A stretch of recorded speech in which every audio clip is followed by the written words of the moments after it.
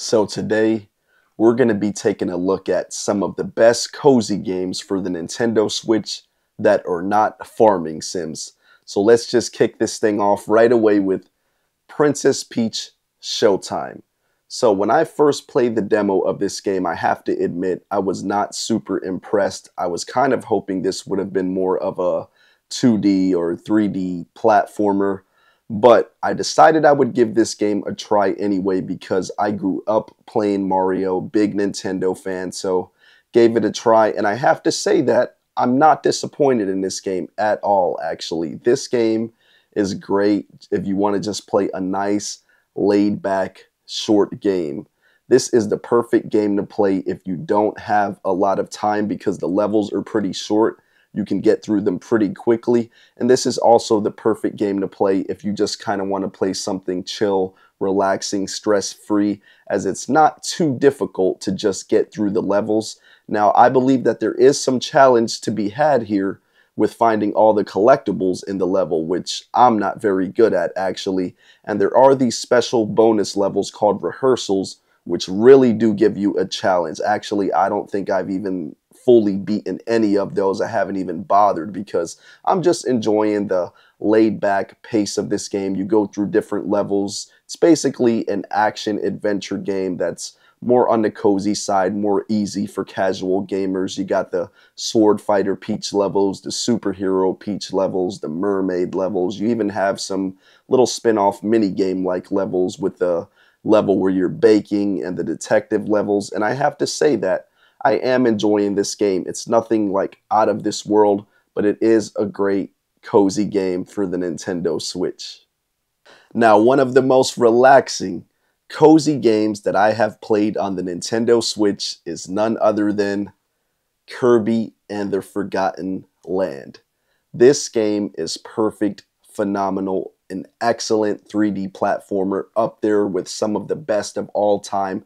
I would argue that this one might even be better than Super Mario Odyssey.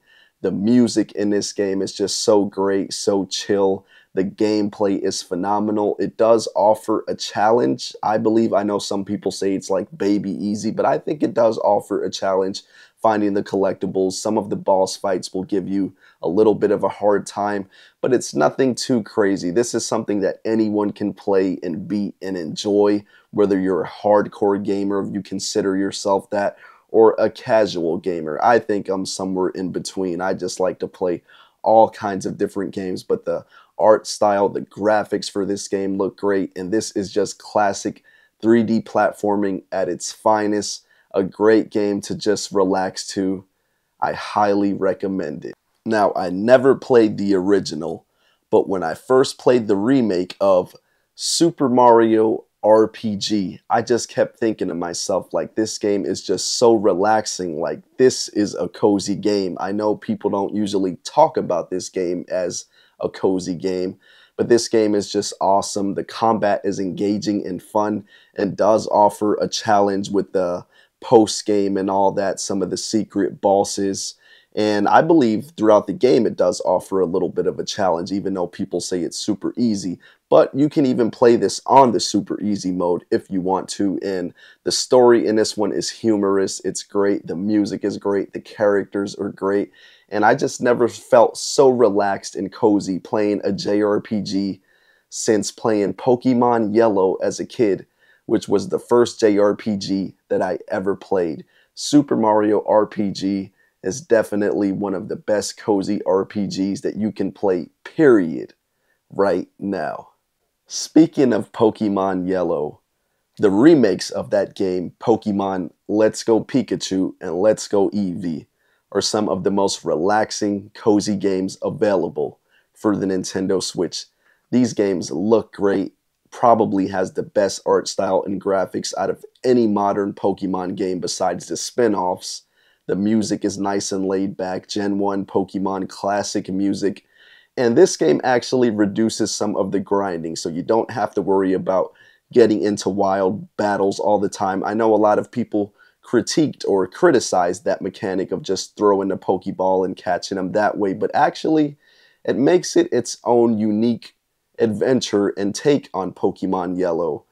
Um, it just makes it less grinding, a little more laid back, easy, faster to beat. And this game is just a lot of fun, has a lot of charm. You're able to have your Pokemon follow you around. You can see them all in full 3D, which looks awesome. You can change the outfits on your Pokemon trainer and your Pikachu. And this is just a classic Pokemon adventure remade for a new audience and OG fans alike. Now, this next game is another one that I have talked about on the channel before, but if we're going to talk about cozy games, I had to bring this one up. And you know, it's Blue Reflection Second Light.